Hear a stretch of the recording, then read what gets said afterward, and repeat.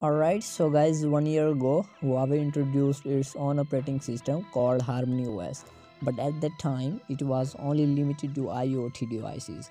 In December 2020, Huawei launched the beta version of the Harmony OS 2.0 SDK and said that the Huawei smartphone running with this operating system will be launched next year.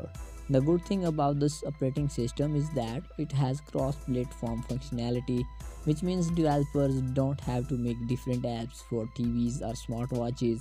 They only need to create one which will work across different platforms. Also just like Android, Harmony OS will be an open source project. Anyway, now according to Chinese media, the first Harmony OS equipped device may not be what everyone's thinking.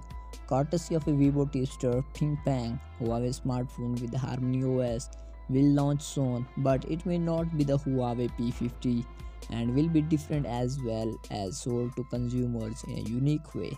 He further said that this product is about to enter the final stage of production and after its release, the phone will be sold through various sales channels including Huawei offline stores.